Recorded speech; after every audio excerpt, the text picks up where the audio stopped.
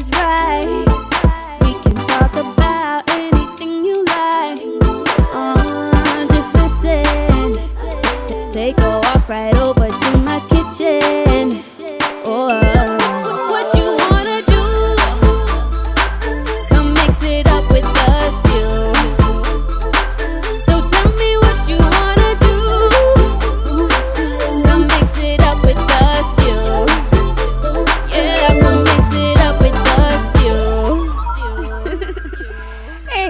Happy Monday and welcome to an all new episode of The Stew. We love you guys so much. We gotta thank you so much for tuning in. I'm Anika. I'm Les. And I'm Janae. And we have so much to talk about. First and foremost is carnival season. It is almost right upon us, and the government has decided that budget costs, or budgets rather, will be cut. Slash. You need Cut. to cut it. Slash. Cut I don't know why they didn't And I won't lie, I am kind of excited. Yeah, I mean, Carnival has ago. been fun and all, and I've enjoyed my time. But you know, we've seen from the last two carnivals that we have not been successful in making the money back that was put in. And you know, a lot of people had their two cents to say about. Um, what the money could have been spent on, whether Mm-hmm. that's course. education or Junkanoo. And so I am just thrilled about this news. You know, cut back a little bit and let's see if we actually can make money before we start pouring all of our resources Yeah, into well- it. So I'm, I'm, I'm excited by the news. Yeah, it's no secret that at the end of the day, the money can be spent elsewhere on better causes, right? Yeah, um, As with any business, they're not going to see any money coming from it for 10, Yeah, for a I while. mean, for a long, long time. yeah. It- so it's just, uh, I wonder what the calculations were in terms of cost benefit analysis. What are, what could the money have been used on Mm-hmm. that could have kind of given us a little bit more traction than Carnival? I, I get the idea of Carnival, I get why, Mm-hmm. right? But uh, also, you know, culturally, um, it, it, does it affect us? You know, there's other things that are kind Yeah. of, we're getting back, this causing backlash. Well, from the moment that they announced they were going to do Junkanoo Carnival, as we all know, everyone was saying that the money should have gone to Junkanoo mm-hmm. itself. Yeah. So that's Yeah. one instance, Yeah. one area where it could have gone. But what I found interesting about this story as well, Minister of Tourism Obie Wilchcombe had also mentioned that it's time for the private sector to take it over. And as I was reading the article, I thought to myself, do we have enough interest? Yeah, well, I do know that there were various um, not parties what were they called um, Groups? groups Uh-huh, yes Good to know I didn't participate, right? but there were different groups Yeah. that were a part of Junkanoo Carnival. I wonder if anyone is that much concerned to say, okay, yes, let's take this over from government and keep this going for years weird to though, come. Okay. because isn't Junkanoo supposed to be a, a private sector also? I, I thought that Junkanoo Carnival would be kind of the government's way to, of course, make some money. Mm-hmm. But Junkanoo was more le- was led more so by the private sector or the Junkanoo groups themselves, right? Because they don't want really the government to influence or to have anything to say in terms of how they operate their groups. So Mm-hmm. it's interesting that you're saying that or they're saying that you know we want the private sector to take it over. Yeah. Very weird. And ladies, on another local note, it's like a little tongue twister saying that we have new constituencies. Uh, Barnabas, St. Barnabas, and Freetown. Freetown, I understand, is supposed to reflect the ancestral history of that particular constituency, uh, which was Montague. And St. Barnabas is, you know, somewhere in that Mount Moriah area, but.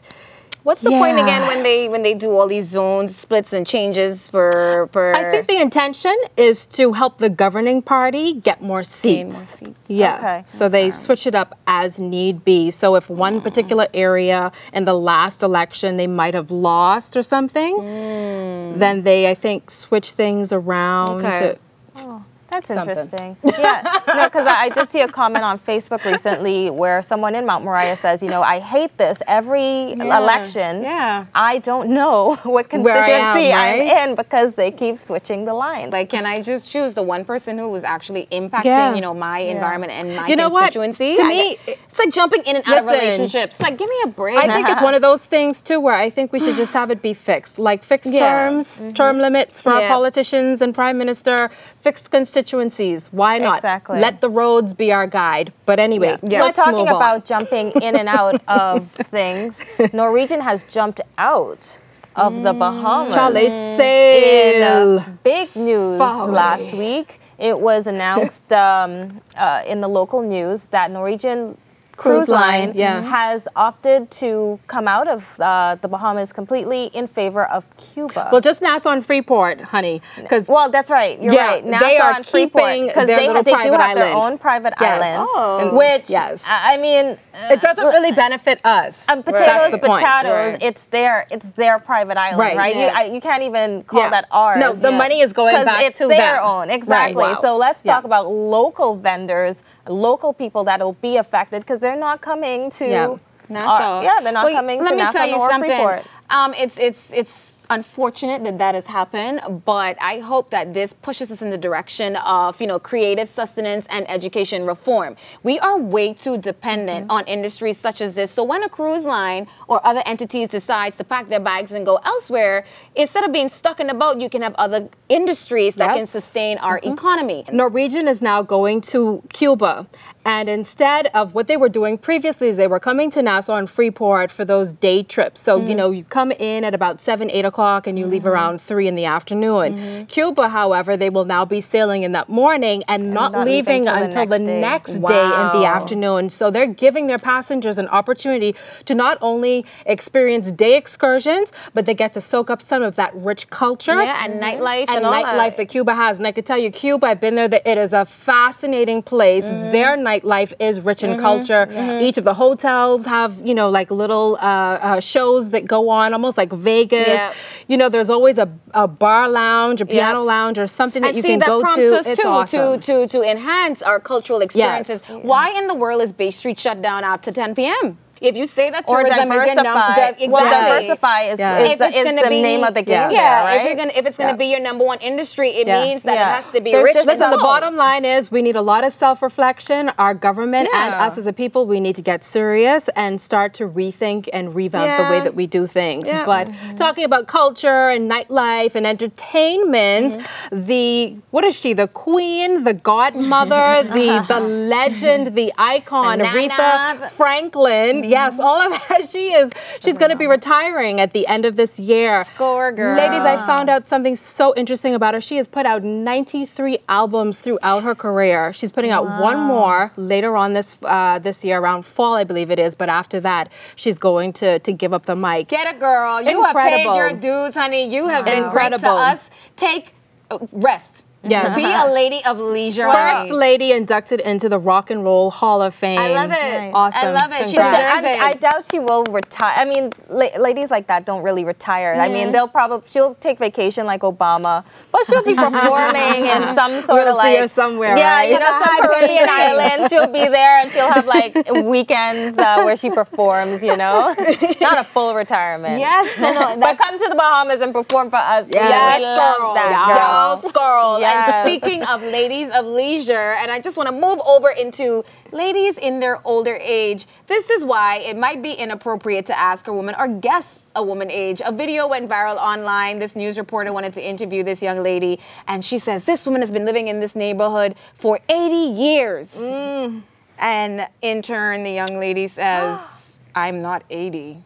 Get it right, Hunter. And she says, oh, 75. And she's like, I ain't 75. And if I was that reporter, I don't care if I was standing on concrete, I would have to find a drill and just dig a hole in it and just get lost under, like, just go, just go away, oh, just bury yourself. Yeah. But is, was this learned. a male reporter then? Female. A female Yeah. reporter And you with would think female. she would know better with a female. Yeah, exactly. Yeah. I mean, Yeah. we all know you never ask a woman's age, but men struggle with that. They really want to guess Yeah, what's yeah. going on with her, and it's like, well, Rule you know, of the guys, day: Yeah. never assume a woman's age. It is quite offensive. It's also offensive to ask her her age. Just don't do it. Is just, it? Just avoid it. I mean, I, you you really got to Yeah. feel your person out, right? There's definitely Yeah. been times where you have a conversation, it's like, oh my gosh, you know, I, how how old are you? You really look young, and you'd be like, oh, thanks. I mean, and then and then you give the opportunity for them to lie. Yeah, Right. You know, but um, you know, you got to really feel your audience out, and definitely TV is not the time. She would have done better, the reporter, that, to just, uh, instead of assuming that the lady had been in that neighborhood for 80 years, she should have just asked her, how long have you been in this Exactly. neighborhood? There you Which go. wasn't her a- asking her her age. Listen, I There stay clear go. of it all the time. If you Yeah. tell me your age, sure, but I ain't trying to get myself shamed, child. Don't I? I, I don't want no unless you bring it up. I'm sorry. That's right. Yeah. So, in kind of on the same topic in the same line, um, one thing that uh, you know we talk about sometimes is Bahamian women mm-hmm. dating foreigners, mm-hmm. right? Mm-hmm. Um, so, my question to you. I'll go to Les because you know we're still hunting for a nice little sugar daddy for Les. So, Les, have you or would you consider dating a non-Bahamian? Yes, and I have. Yes. You have? And tell us what that experience was like. It was like dating a man. Oh. Not a she man, not a hair It man. was Not a half a man. It was hmm. dating a, another human. So you felt like there was no being. difference. but how do you feel? I mean, because I, I mean, I bring it up because Yeah. a lot of times women or Bahamians in general will think you've uh, uh, abandoned Yes, your yes. own kind Yeah. when you've decided to date someone of another race, another ethnicity, No, another. I, I, mean, get it. all of that. I, I, I totally get it. I understand all of that. I just think it's an issue if you, as an individual, you are actually abandoning your own race or culture or nationality, Like a right, thing, yeah. nationality. Like a thing then yeah, that's a problem. You're No, for me, it was it was fine. Now, granted, when two cultures or two races collide, there are, of course, are going to be differences. There will be challenges, especially in getting to know one another and getting accustomed to what that person likes simply because of who they are. it opens you up to so much more. You It can learn about their culture, you can learn about their customs, their families, their values, and things like that. So, and then travel to where they're from. Yeah, no, you know, there's a benefit in that Yeah, too. no, so, for sure. Whatever floats your For boat, sure. man. Well, Yeah. that's you Do hear you, that. boo. Whatever floats your boat, and Les is open to them all.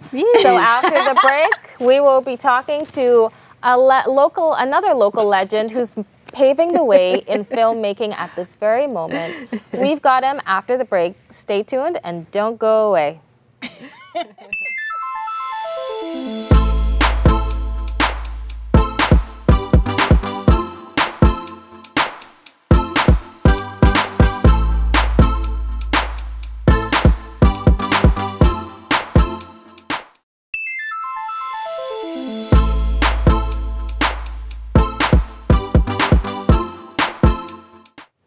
And we're back with the stew on a Man Crush Monday. And today we are celebrating along with our crush in a mighty big way as he is doing huge things in one of my favorite pastimes, filmmaking and movies. We have the local legendary, if I dare say, Kareem Mortimer, who is here to talk about his upcoming film. Cargo, which will be premiering in Miami in a few weeks. Yes, yes, Yes. March 5th.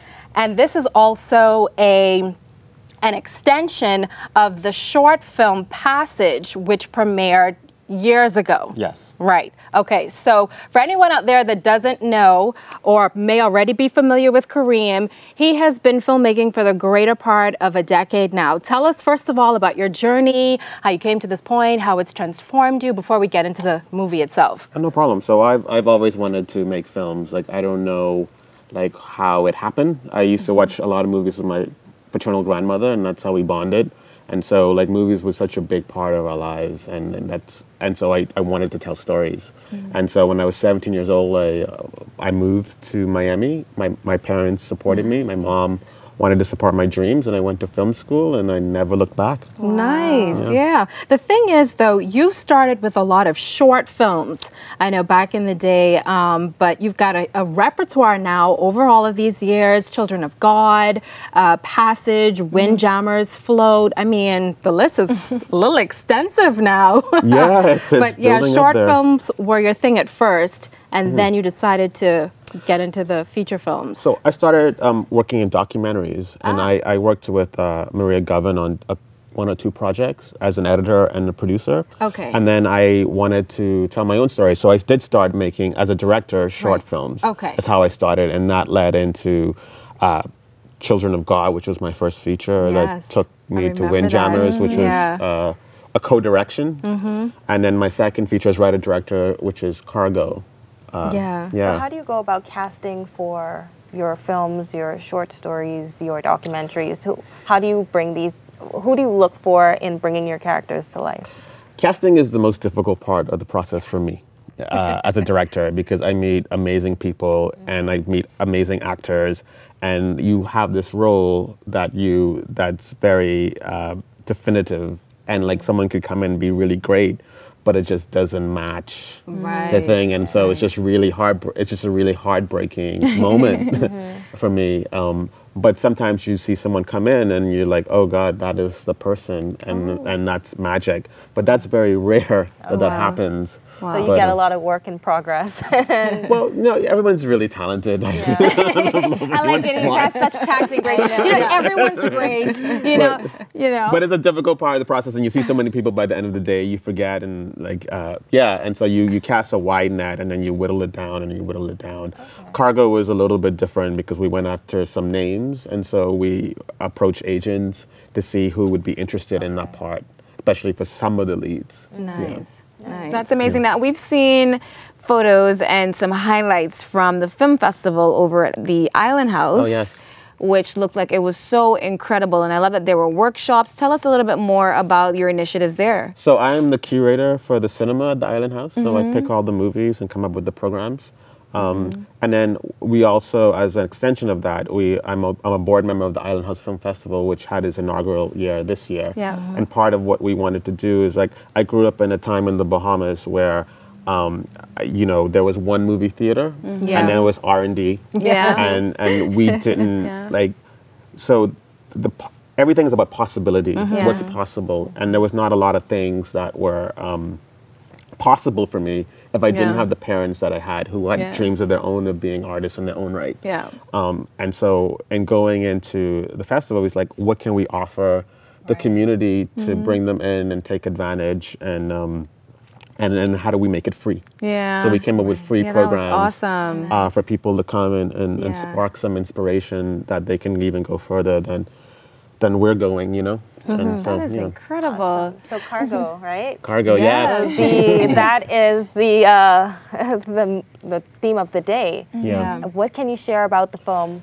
So Cargo, I'll just give you the brief synopsis. So Cargo is a story of a sensitive Bahamian fisherman who transforms into a prolific human smuggler in order to uh, pay off some debts and take care of his family, and uh, and and the relationship with his um with his with his girl with his girlfriend on the side, who is uh, who is also uh, an, an an undocumented Haitian woman living in the Bahamas. Nice, Yeah. nice. Yeah, and I remember when I had an opportunity to see Passage, the short film, which, you know, as we mentioned earlier, um, was the first part to this. So, what was the the process like for you in terms of going from that short film to putting this all together and getting that story, you know, expanded on? Well, it's interesting. So I wrote the feature before I made the short, which is which is really cool. And so um, so the the, sh- the short was was was commissioned by uh, by uh, the Commonwealth Foundation in the UK, Okay. and they uh, they gave us. Um, they gave us the funds in order to make the movie, Right. and they was like, "This will help you with your feature," Wow. and it did. And and so so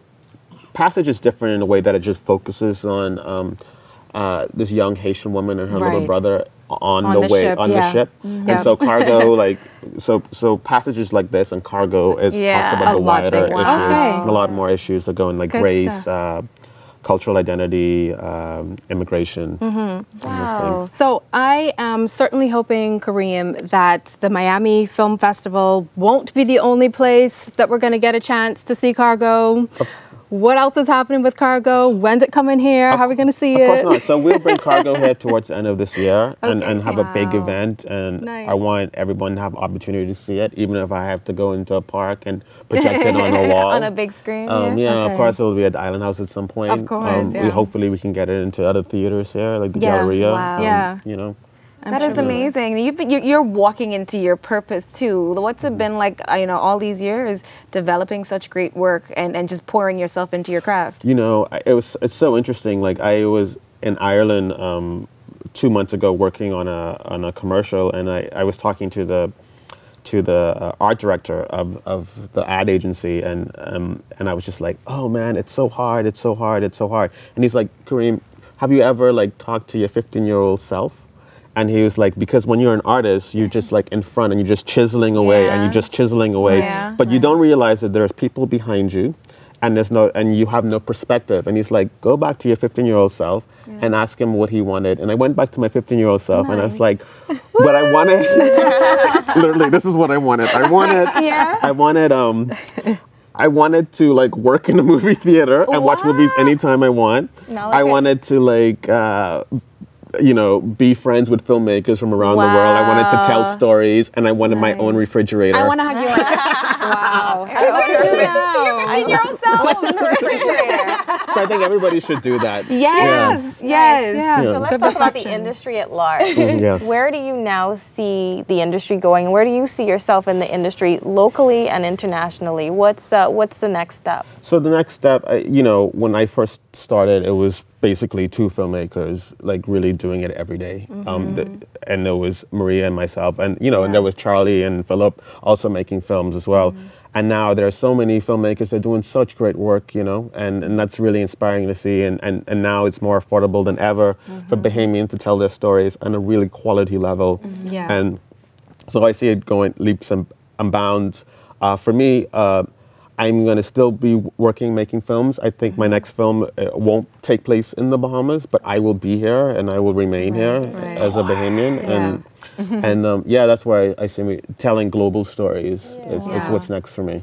Just as one request when you do do that film abroad, Hmm. make sure you have some touch of the islands in there somehow. Of course. You know, even if it's like someone, I don't know, craving for some conch salad Yeah. or, you know, just give a shout out to us here in the 242. Yeah, or be an actor from the Bahamas that's Yeah. there, or like you know, that's the lens Yeah. from what I see life through. So Exactly. yeah, that makes Yeah. Well, thank you so much, Kareem, for coming on the stew and talking to us about Cargo, um, premiering at the Miami Film Festival. Is it March Yep, fifth? March fifth.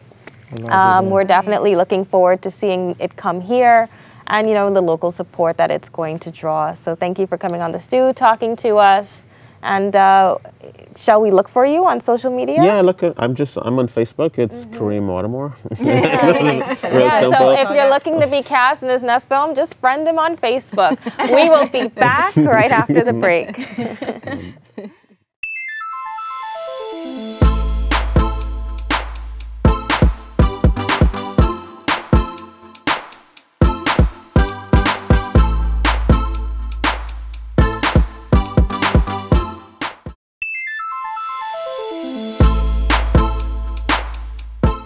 Your Fab Frugal tip on this marvelous Monday. Now, if you went to school 10 years ago, you definitely wouldn't have taken any courses for these jobs. Today, we're talking about jobs that barely existed 10 years ago. First is the iOS developer. Now, Apple announced the iPhone in 2007, and then third party development took off in 2008 when people can build apps around iOS. Now, that's a job I should have gotten into. The second most popular job, and no surprise, on the heels of the iOS developer, is the Android developer. So Google came out with their Android in 2007, which also created a craze for Android development apps. Now, can you imagine how many Android developers there were in 10 years ago? There were 53. And how many are there now? Over 10,000 Android developers on LinkedIn at the moment. Can you believe it? So, the third most popular job that has come out of LinkedIn is the Zumba instructor. Now, Zumba has kind of been all the craze as fitness centers have popped up all over the world. And let's say there were 16 10 years ago, there's now over 6,000 Zumba instructors on LinkedIn at the moment. So, the fourth most popular job that kind of popped out in the last 10 years was the social media specialist and intern. Yes, so Twitter, LinkedIn, Facebook, all of these great platforms came out between 2003 and 2006 and hit a peak around 2008 where these jobs just skyrocketed. So now, if you want to be a social media specialist, well, hey, you just need the right tools to get with it take great photos, all that amazing things. Anika knows a lot more than I do, but it's definitely one of those jobs that have come out of nowhere from 10 years ago. If you're looking for a job in 2017, look between the lines, find a need, and see if you can fulfill it based on a job that you can create. this is what these guys did. They focused on technology because, of course, technology has been the biggest growth factor in the past nine, ten years in our lives. But there's also other means of growth in our economy specifically. So you can find a job, you can make it good, you can make this year great. This has been your Fab Frugal tip of the week. It's a marvelous Monday. Have a great day, make it productive, and I'll see you after the break.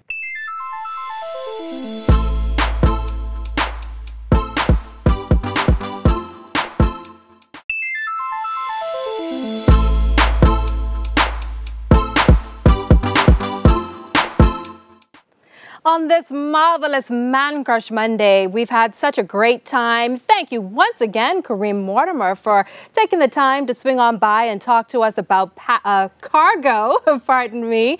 I'm sure the festival in Miami is going to be a huge success, and we can't wait to see it here in the Bahamas as well. And ladies, I loved all that talk we had earlier about, you know, dating the man from another country mm. and silly season, you know, all the stuff that we capture here on this stew. It's been yeah. fun. Yes, it has mm. been. Girl. Good week to you start. What, ladies? Good way to start the week. I have a gift for the both of you uh, because it is the month of love. Yes, yes, yes. I want to express my love to I you both. That's just lovely, folks.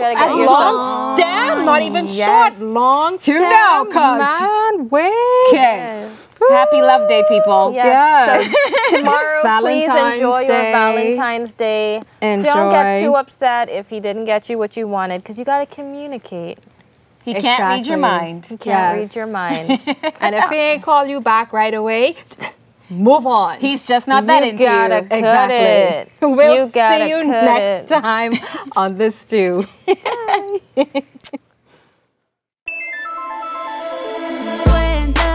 vibe is right. We can talk about anything you like. Uh, Just listen. Take